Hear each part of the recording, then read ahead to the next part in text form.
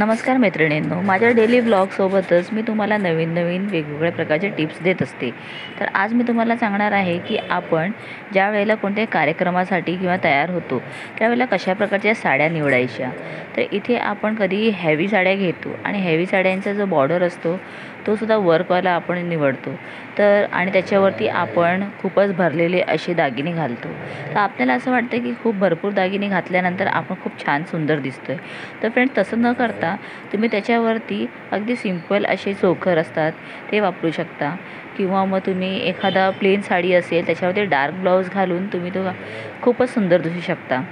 त्यानंतर जेव्हासुद्धा आपण प्लेन साडी निवडू त्यावेळेला त्याच्यावरती आपला ब्लाऊज जो आहे तो कॉन्ट्रास्ट कलरमध्ये निवडला ना तर तो खूपच दिसायला सुंदर दिसतो आणि तुमचा लुकसुद्धा खूप छान दिसेल.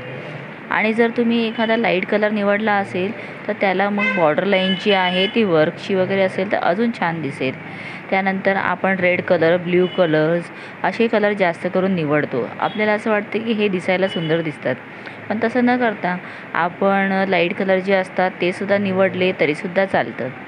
त्यानंतर आपण जेव्हा फोटो पोजेस वगैरेसाठी उभे राहतो त्यावेळेला आपल्या ज्या निर्या वगैरे आहेत त्या निर्यांकडे आपण जास्त लक्ष द्यायला हवं.